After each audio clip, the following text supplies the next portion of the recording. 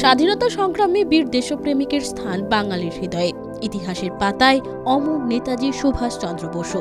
তবে সেই ইতিহাসের পাতায় স্থান পায়নি তেলে ভাজার কোনো কথা। কিন্তু খাদ্য রসিক বাঙালির মুড়ি তেলে ভাজা প্রেম থেকে বাদ পড়েননি খোদ নেতাজিও। নেতাজি সহ স্বাধীনতা সংগ্রামীদের গোপনে তথ্য সরবরাহের পাশাপাশি মুড়ি তেলে ভাজা পৌঁছে দিতেন বিধান সরণের এক তেলে ভাজা বিক্রেতা। আর সেখান থেকেই শুরু ইতিহাসের আরও এক অধ্যায়ের। এই দোকানটা আমার স্থাপিত করেছিলেন আমার দাদু উনিশশো আঠেরো সালে। আর এখন হচ্ছে দু হাজার একুশ। একশো তিন বছরের দোকান হয়ে গেল। ইনফরমেশান সেন্টার ছিল এই দোকানটা। তো এই দোকানটা ইনফরমেশান সেন্টার বলতে ওই চিঠি আদান প্রদান এই খবরটা ওকে দিয়ে দিবি ওই খবরটা ওকে দিয়ে দিবি। একদিন উনি নেতাজিকেও, তখন নেতাজি হয়নি সুভাষচন্দ্র বোস ওনাকেও তেলেভাজা খাইয়েছিলেন। উনি তেলেভাজাকে এত মানে ভালো লেগেছিলেন। উনি আমাদের দোকানেও যখন স্কটিশি পড়তেন তাদের সময় এসেছিলেন এই দোকানে।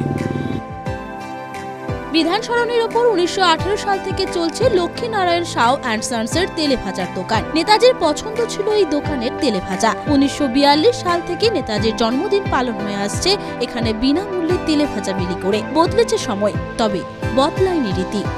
আমার দাদু ওর প্রতি এতই আকৃষ্ট হয়ে গেলেন, ওনাকে ভগবানের মতন মানতেন। তো ভগবানের মতন মানতেন, উনিশশো বিয়াল্লিশ সালে উনি চালু করল নেতাজির জন্মদিন তেলেভাজা খাওয়া। তখন ব্রিটিশ সময়। তখন আর ওপেন দোকানে দেয়া হতো না।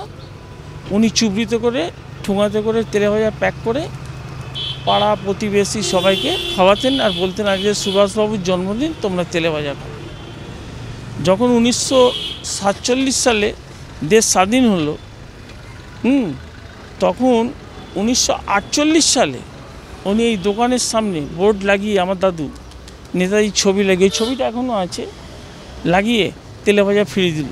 সেই ট্রেডিশনটা এখনও আমরা করে আসছি। দু হাজার একুশেও করেছি। তখন বাচ্চাদের দুটো দেওয়া হতো, বড়দের চারটে, এখনও বাচ্চাদের দুটো, বড়দের চারটে।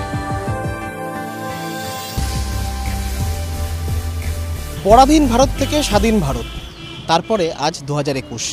এখনও বদলায়নি সেই পুরনো রীতি। আজও তেইশে জানুয়ারি নেতাজির জন্মদিবস উপলক্ষে বিনা পয়সায় চপ খান এই এলাকার মানুষরা। সৌজন্যে লক্ষ্মীনারায়ণ সাউ। ক্যামেরায় মনোজের সাথে রনিক। আরোহী নিউজ বাংলা কলকাতা।